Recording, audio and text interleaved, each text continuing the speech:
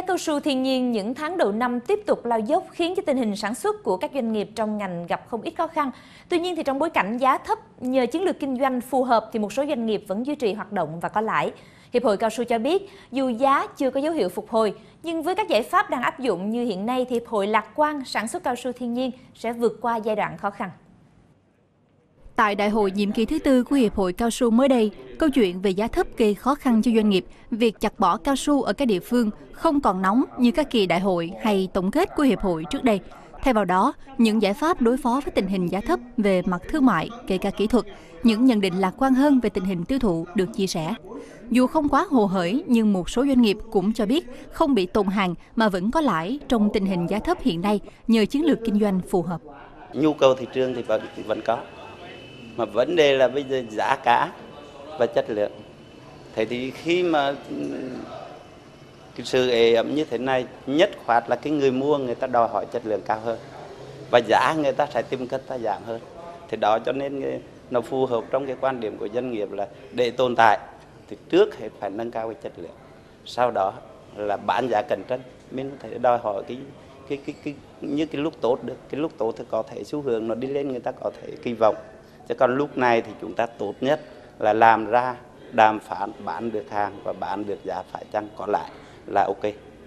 Đại diện Hiệp hội Cao su cho biết, trong năm qua, Hiệp hội cùng các doanh nghiệp đã triển khai nhiều giải pháp để đối phó với tình hình giá thấp. Các doanh nghiệp đã chủ động thu hẹp đầu tư, tập trung nâng cao chất lượng, thay đổi cơ cấu sản phẩm để phù hợp với nhu cầu của thị trường. Song song đó, Hiệp hội cũng kiến nghị nhà nước thực hiện các chính sách hỗ trợ cho ngành như miễn thuế xuất khẩu cao su thiên nhiên, giảm tiền thuế đất trong giai đoạn trồng cao su kiến thiết, miễn kê khai thuế VAT với các doanh nghiệp. Các giải pháp này phần nào giúp các doanh nghiệp vượt qua khó khăn, duy trì hoạt động và vẫn có lãi dù không cao.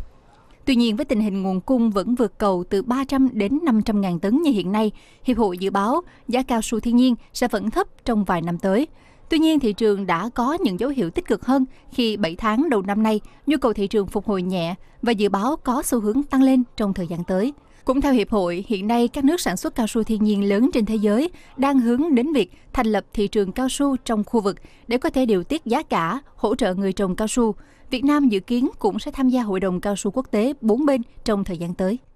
So với thế giới thì chúng ta đạt vào gần 8% của sản lượng cao su thế giới. Cho nên cái việc chúng ta giữ giá hoặc là làm giá thì tôi cho rằng không làm được. Mà muốn làm được điều này thì chúng ta phải tham gia vào hội nhập sâu. À, hiện nay nếu như chúng ta tham gia vào hội đồng cao su quốc tế ba bên hay là bước hai là công ty cao su ba bên thì bốn cái nước sản xuất cao su thiên nhiên lớn nhất thế giới là Thái Lan, Indo, Malaysia và Việt Nam đã chiếm trên 90% thị trường cao su thiên nhiên thế giới. À, chúng tôi nghĩ đây là cái ô bích của cao su thì có khả năng chúng ta đàm phán hoặc là có biện pháp tốt nhất đối với các nhà tiêu thụ thiên nhiên cao su để chúng ta giữ một cái mặt bằng giá là giữa nhà sản xuất và nhà tiêu thụ cao su đều có lợi nhuận. Hiệp hội cho biết vấn đề đáng ngại nhất hiện nay là chất lượng cao su xuất khẩu chưa được kiểm soát chặt chẽ. Dù ảnh hưởng của tình trạng này chưa đến mức báo động, nhưng Hiệp hội lo ngại tác động sẽ lớn hơn khi nhu cầu thị trường phục hồi. Hiện nay có tình trạng là ví dụ như các cái doanh nghiệp của tập đoàn cao su thì cái hệ thống quản lý chất lượng rất là tốt, có kiểm soát và có cái chứng chỉ khi hàng hóa xuất đi. Tuy nhiên, ờ, ở đây tôi nói toàn bộ nhưng có một số cái doanh nghiệp cao su tư nhân hoặc tiểu điền thì cái sản xuất cao su, tức là chế biến cao su sơ chế đó, hiện nay thì không kiểm soát được chất lượng.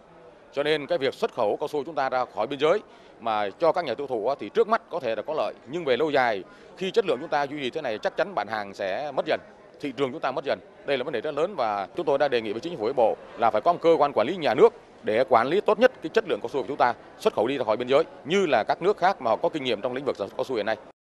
Theo các doanh nghiệp, việc cao su thiên nhiên xuất khẩu không đảm bảo chất lượng theo tiêu chuẩn vẫn được xuất khẩu ra bên ngoài, chưa gây khó khăn lớn cho các doanh nghiệp sản xuất chân chính trong cạnh tranh đầu ra. Lý do là vì nhu cầu thị trường hiện vẫn thấp, giá thấp nên khách hàng đòi hỏi cao hơn về chất lượng. Tuy nhiên lại đang gây khó khăn ở khâu thu mua nguyên liệu đầu vào. Cái hàng chất lượng thấp nó cũng ảnh hưởng rất nhiều. Họ khi mà họ đã làm chất lượng thấp thì có nghĩa là họ có thể dùng cái cái cái lợi nhuận, họ có thêm lợi nhuận, họ trợ giá các thứ để mà thu hút đầu vào cạnh tranh rất lớn đối với những người là sản xuất chân chính. Hỗ trợ giá thêm cho những thương lái ở ngoài rồi đi thu mua cái giá nó, nó, nó cạnh tranh nói chung là không lành mạnh. Có thể là có thể cao hơn những cái giá mà nhà nước mua một số doanh nghiệp cũng lo ngại với tình hình thị trường giá thấp liên tục như hiện nay sẽ ảnh hưởng đến nguồn cung mũ cao su trong tương lai do nông dân chặt bỏ cao su để chuyển sang trồng các loại cây trồng khác. Tuy nhiên, Hiệp hội Cao su khẳng định không lo thiếu nguồn cung do diện tích cao su hiện nay đã vượt quy hoạch hơn 100.000 hecta. Các diện tích chặt bỏ chủ yếu là ở các vùng không theo quy hoạch, hiệu quả thấp, còn ở các vùng trồng cao su theo quy hoạch, diện tích vẫn đang được duy trì.